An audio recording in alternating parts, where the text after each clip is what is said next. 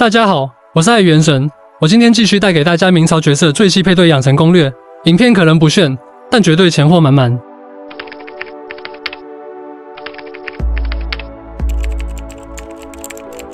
视频给大家讲一下角色的养成配对，包括深海词条怎么选，为什么这么选。那么这期视频呢，不仅仅会讲示结论，还会告诉大家为什么去这样子选择队友，原因是什么。呃，为的是让大家不被一些粗制滥造的，就是乱七八糟的攻略给误导啊。比如说一个攻略，它要是封面写的什么基岩一大四十万，那么不知情的萌新他可能就觉得这个视频里面的配对是正确的配对，但实际上并不是这样啊。再者说，那个大招它砸下去也不是四十万，而是十一万，对吧？它那个六加五的基岩还没有六加一的基岩砸下去伤害高，那么这些都是有原因的，就是因为配对配装上出现了问题。那么我们先从最重要的开始讲，嗯，技能伤害类型，大家也都注意到了，在明朝这个游戏里边呢，技能伤害类型分为普攻伤害、大招伤害、重击伤害和共鸣技能伤害。而且角色呢，它有时候又有些奇怪，比如说这里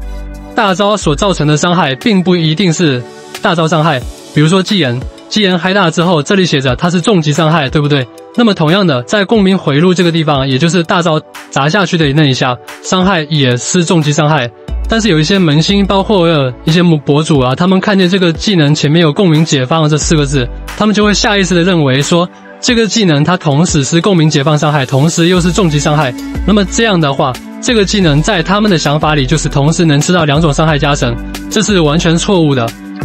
这里的共鸣解放，也就是说技能前面的前缀，它是指使用这个技能的触发方式，比如说要触发技能的这个苍药八荒后动。要想打出这一段伤害，你需要的，你需要做的是按大招，也就是说使用共鸣解放，你可以打出这样一个伤害。那么，那么这个伤害到底属于什么呢？是属于重击伤害。同样还有一个非常鲜明的例子啊，安可，安可的共鸣回路里，你们看名字是不是重击白咩失控之炎，重击黑咩是暴走，重击黑咩暴走之炎，他们的使用方式，这两种伤害你想打出来的话，那么。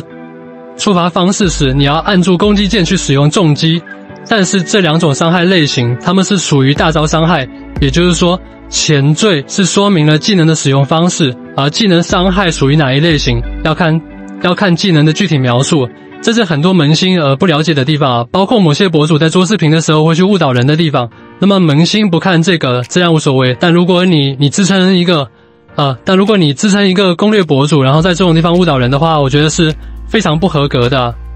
好，我们一个个角色来看。首先是纪言，纪言的伤害构成是什么呢？纪言入场之后开大，然后一直转转转，转完了就可以切人走了。而大招期间的伤害，包括砸下去的这段伤害，都是重击伤害，对不对？那我们可以说，纪言百分之九十以上的伤害都是由重击伤害构成的。那我们这个时候给他寻找的队友是谁？应该是莫特斐。莫特斐的演奏技能，大家看这个角色。也就是角色技能界面的这个地方，这个演奏技能是明朝里面非常重要的一个部分。莫特斐的演奏技能是给下一个登场角色，也就是纪言，他的重击伤害加深百分之三十八。这里的加深大家要注意，加深和加成是两种伤害程序，加深它是独立程序，所以这个加深它的效果非常的显著。而有些博主推荐的啊，纪言加剑心来打核爆这种配对啊。哎，纪言的剑心，剑心的演奏技能是什么？是共鸣解放伤害加深，所以纪言的大招是完全吃不到剑心任何一点点的增伤效果的。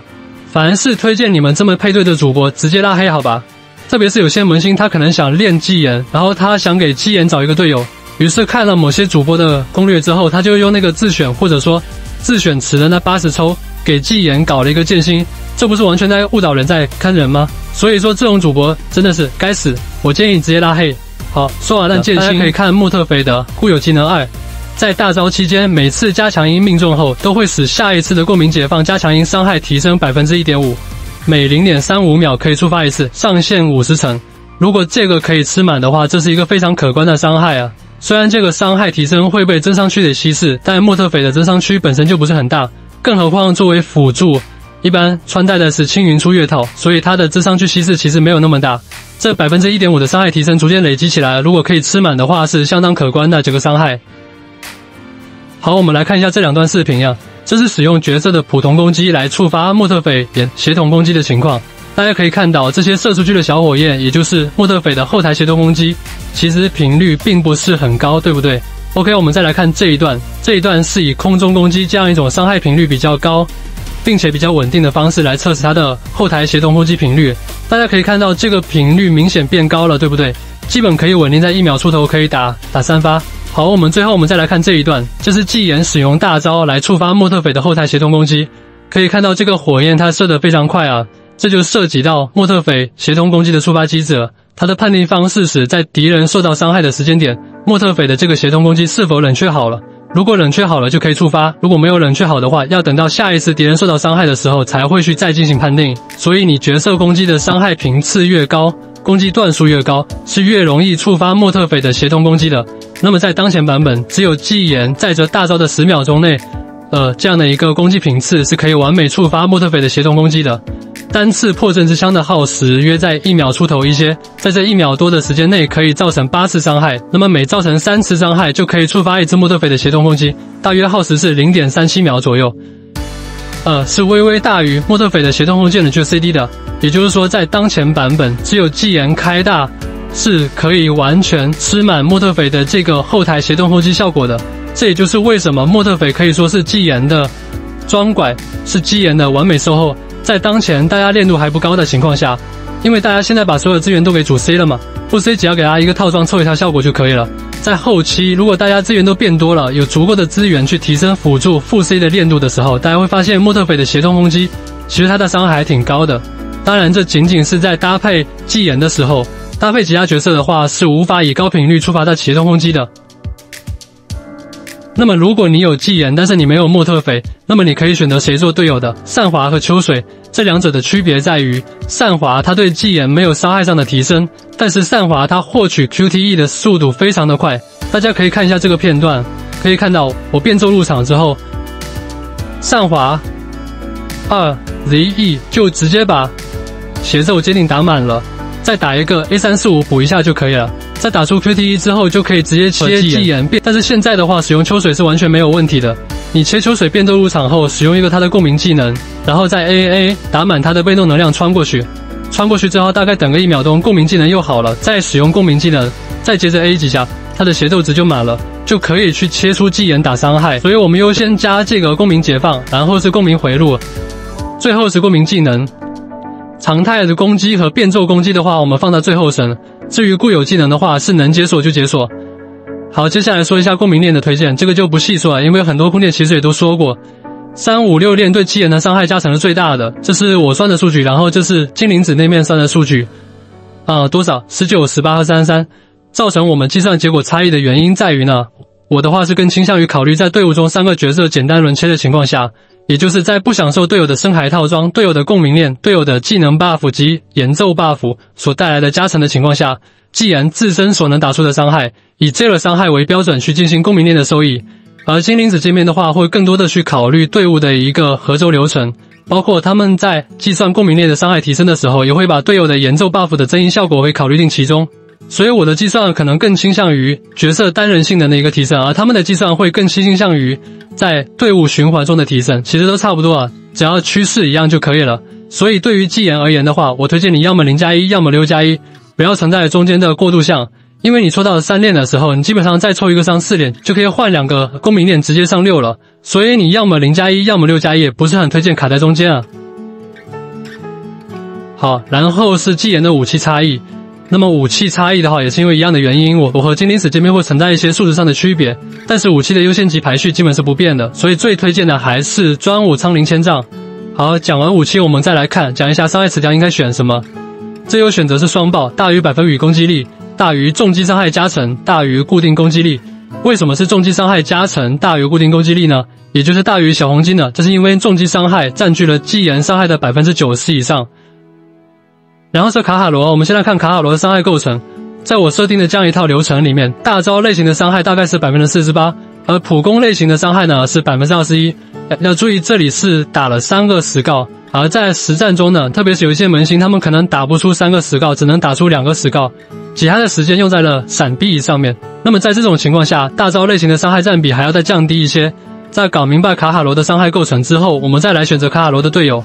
既然卡卡罗的主要伤害是大招伤害和普攻伤害，那我们可以选择散华或者是剑心。散华的演奏技能是普攻伤害加深，而剑心的演奏技能是大招伤害加深。因此，这两者在银铃出来之前都可以作为卡卡罗的队友。但这里有个问题，就是普攻伤害和大招伤害的占比是有比较大的差距的。大招类型伤害占比的话，在四十八，而普攻伤害占比是二十一。在这种情况下，是善华更好还是剑心更好？这就要考虑到善华和剑心他们好处呢？现在正在玩卡卡罗的朋友应该都知道，他这个死告动作的持续时间是比较长的，在实战中非常容易挨揍，所以剑心的话可以提供护盾给卡卡罗，嗯，给卡卡罗提供一些生存能力，包括剑心的大招巨怪啊，可以让卡卡罗的死告尽可能的多的去命中小怪，所以这两者是各有优势的。当然，考虑到成本的话，我还是推荐善华，毕竟是签到五天就送，而剑心的话，它至少会占据你一个五星长盾的名额。那么说完队友，我们再来说卡卡罗的技能加点。卡卡罗的输出手段主要就是依靠开大之后进行普攻和死告，因此我推荐优先升级共鸣回路和共鸣解放这两个的优先级其实差不多的，没必要纠结哪个是第一哪个是第二，这两个肯定都是要升的。然后是共鸣技能，最后是常态攻击和变奏技能。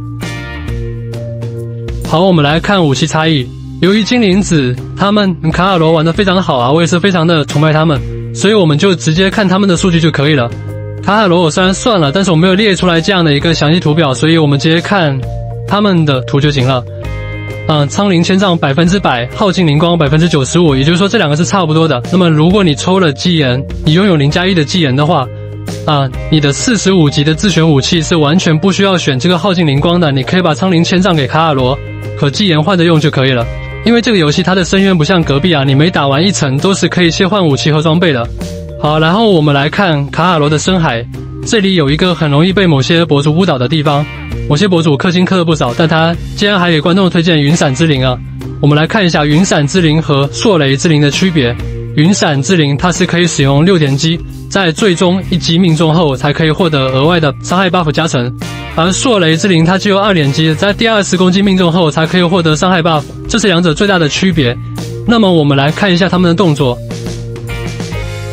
云闪之灵的六连击要打的比较久，而朔雷之灵它的二连击很快就可以打完。这种差异带来的影响呢，主要有两个，一个是在你使用云闪之灵的六连击过程中，如果 BOSS 攻击你，而你去躲避，那么就完全浪费掉了这样的一个深海技能。因为它耗时非常久，同时它的这个较长的释放时间会让会让你浪费掉很多队友提供的增益 buff 以及演奏加深 buff，这一点非常重要。云闪之灵它更适合打木桩，而朔雷之灵更适合于实战流程，这是两者的区别。那么云闪之灵和朔雷之灵的第二个区别呢，在于他们所提供的 buff。朔雷之灵给的是重击伤害提升，而云闪之灵给的是大招伤害提升。有人会说，既然卡卡罗的大招伤害占比那么高，为什么不是云闪之灵更合适呢？我们要考虑到伤害稀释的问题。这百分之十二带给卡卡罗的实际效果是多少呢？这是卡卡罗在开大之后不享受队友的各种 buff 时，他所拥有的增伤区比例。我们可以以零链作为参考，零链的话是二点三四，那么百分之十二的加成可以获得提升，实际上是这个数字百分之五。但是百分之五，它还要再去乘以卡卡罗的大招类型伤害占比，也就是接近零点五，实际上的提升大约在百分之二点五。这只是卡卡罗的个人情况，如果他还享受到了队友的增伤，比如说影视回光套的十增伤，青鱼朱月套的十二增伤，它的稀释会更加严重，大概在百分之二左右。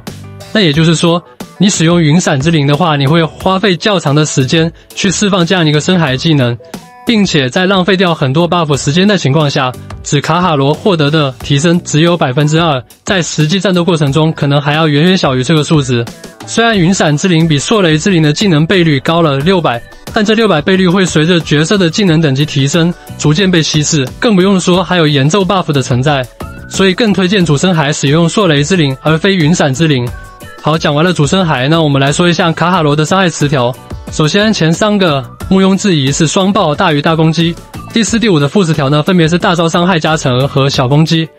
好，下一个我们来讲安可。安可我虽然算了，但是我没有把它整理成一个嗯一个板子，所以我们直接对着精灵子攻略组做的做的这个攻略，我们来讲就可以了。首先，安可的伤害构成是多少？在精灵子攻略组的攻略里的话，并没有详细的说这个东西啊。那按照我的计算的话，它的普攻占比是百分之六十五，而它的 E 技能和大招技能占比呢，其实非常低，也就是百分之二十二和百分之十一。所以安可的主要伤害构成还是普攻。那么这个时候的队友，毫无疑问，我们可以选择善华，对不对？因为善华它既拥有非常快的协奏值获取能力，可以很快的打出 QTE，又可以提供一个普攻伤害加深，所以善华是很优秀的队友。那么有很多人在网上看到过安可和羚羊的一个组队去打他们的演奏演奏伤害，这个玩法我觉得它没有必要啊，因为我觉得这是强行给羚羊找的就业玩法而已，就好比你说把羚羊安可卡尔罗放在一个队能不能玩一样。关于这个的话，我也在我的羚羊攻略视频下面的评论区和网友解释过了，嗯，和网友讨论过了。所以安可的队友直接选择善华就可以了。然后我们来看安可的技能加点，由于安可的主要伤害构成都是开大之后的普攻伤害，所以我们肯定是要优先去升级他的一个大招，然后是他的共鸣技能。为什么不优先升共鸣回路呢？因为共鸣回路它只包括了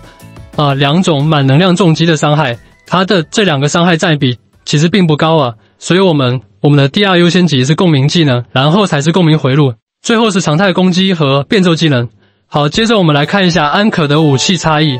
这边直接看精灵子攻略组的结论就可以了。在他们的计算中，银铃的专武，呃，侧魁之手是大于常驻五星武器以蓝符箓的。那么我虽然没有把安可做一个整合，但是我大致看了一下，在我的计算中的话，这两者是差不多的。所以我同样推荐，如果你想玩安可的话，你可以在下一个池子抽一个银铃专武，不管你抽不抽银铃，哪怕你哪怕你抽了银铃，也可以给他们换着用。那么深海词条毫无疑问前两个双爆，然后是大攻击，第四位就是提到的普攻伤害加成，然后是小攻击。施加的共鸣技能和大招伤害，由于占比仅为百分之二十和百分之十，所以他们的话优先级非常低。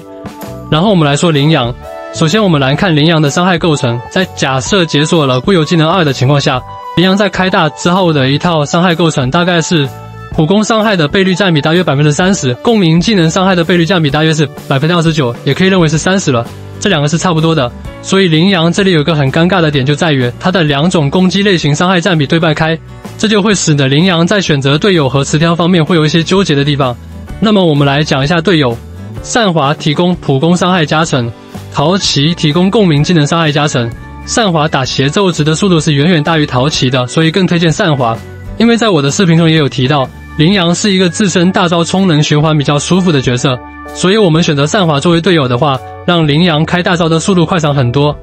好，接下来我们说羚羊的技能加点，虽然前面我们说过羚羊的普攻类型和共鸣技能类型的倍率占比是差不多的。但是这指的都是共鸣回路里的普攻和共鸣技能的伤害，但这指的都是共鸣回路里的普攻和共鸣技能，所以我们优先升级共鸣回路，其次是共鸣解放，在最后才是共鸣技能常态攻击和变奏技能，这三个其实差不多啊，优先级是放在一起的。好，接下来我们说羚羊的武器差异，在我的计算中，如果以一阶常驻五星的武器作为百分之百标准的话，并没有很适配羚羊的四星武器啊。因为这些武器，他们的技能都不适合羚羊，最高的害型也就百分之八十七，还是五阶的害型。好，然后我们来说一下深海的词条，前三位还是不变的。第四位呢，由于羚羊的各种攻击类型伤害占比其实差距不大，所以我们选择小攻击。第五位则克是普攻加成，或者是共鸣技能伤害加成。好，讲完羚羊，我们来讲一讲暗主。暗主，暗主的话，我们以二链考虑，二链的暗主是可以让整个。暗涌状态吃到两层千古浮流的加成的，所以在这种情况下，暗主它的普攻伤害占比至少是百分之三十。因为在我设计的这套输出流程的话，它并不是极限。实际上，极限的输出流程的话，你们可以看，呃，你们可以看精灵子的那边的攻略，是可以一共打出三套名刃加 A 三 S A 五的。但是那个流程非常的极限啊，在那种情况下，普攻伤害占比是百分之三十八以上，而相应的共鸣技能伤害占比和大招伤害占比会降一降，约等于我们算它百分之二十吧。那么暗组的队友选择就很清晰了，要么是可以提供普攻伤害加深的散华，要么是可以提供湮灭伤害加深的丹井。由于暗主的普攻伤害占比虽然是最高的，但并没有到特别突出的地步，所以总体来说，丹井可以给暗主提供更多的伤害。但丹井的缺点在于，它是一个烧血角色，如果你在打协奏值的过程中一不小心挨了一下，你可能就当场去世，这是丹井的缺点。因此，对于萌新或者是手残玩家的话，我更推荐你们使用善华。反正对于自己的操作有信心的话，我推荐你们选择单井。好，然后我们继续。由于暗主的伤害主要是来源于暗涌状态下的明刃加一三四五，所以我们升级的第一优先级是共鸣回路，其次是共鸣技能和共鸣解放，最后是这两个常态攻击和变奏技能。好，然后我们来看一下武器差异。由于五阶的这个大月卡飞井，它提供了非常高的普攻伤害的加成，所以五阶的大月卡飞井它是可以和一阶的千古浮流碰一碰的。同理的还有不归孤军。由于暗主自身的攻击区比较小，不归孤军提供的攻击 buff 可以让暗主的攻击区赶上或者超过增伤区一些。不归孤军的话会比飞井要稍微好一些，但实际上差不多，因为这涉及到队友给的攻击 buff，导致攻击区域会再稀释一些。所以大家这里的话只需要知道一阶千古浮流是略微大于五阶飞井和五阶不归孤军的就可以了。然后我们来讲一下深海词条前三个位置毋庸置疑双爆大于大攻击。然后第四个位置，由于暗主的各类型伤害占比差距都不大，所以呢我们推荐小攻击。最后才是普攻加成和其他两种伤害加成。最后再跟大家简单说一下三费深海的主词条的问题。对于绝大多数的角色来说，你两个三费深海的主词条选择属伤就可以了。当然，对于小部分的角色。比如零加一的纪言，一加一的纪言，还有四加一的纪言，包括呃六加五的纪言，以及六加一的羚羊，这些角色的话，选择一个攻击一个属性伤害的主词条会更好一些。当然了，这是后期的事情。明超由于前期的四三三深海总共给了三百五十的固定攻击力，角色和武器等级低的时候，白值又比较小。所以百分比攻击的收益不明显，前期只要选择两个属伤主词条就可以了。一攻一属这种特殊情况，还是等到九十级之后再考虑吧。OK，先等下插播一段，这个视频本来都已经在上传了，然后翻评论区的时候看到有人问我辅助和奶套的这个词条怎么带，没办法回复你嘛，因为被水军给举报禁言了。那就在这边说一下，辅助的话，青云出月，你的四 C 主神海一定时期的无伤凶路，然后三费的话，一个选择共鸣效率，一个选择攻击就可以了。因为共鸣效率你你带两个也是溢出，还有一个攻击的话，它比较通用，就是你就可以给任意属性的辅助带。你看这边大招它是有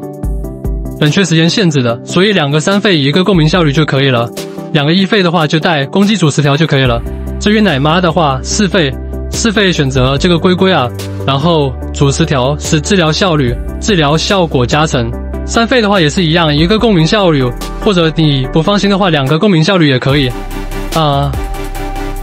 那我是一个都没有啊，这个不用看我，我这边乱点，但是一个都没有。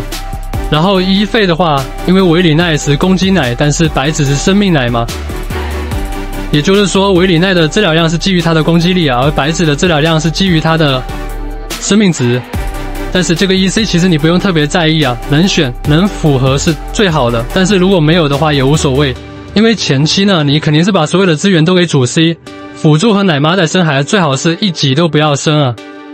当然，如果你实在觉得就是掉血掉的太多奶不回来的话，你你就给奶妈升升级，你就给奶妈的。深海升级，但是这里要注意一下，你升级的时候，你不要直接把一个直接给拉到二十五，你这五个生孩，你平均统一升到十级，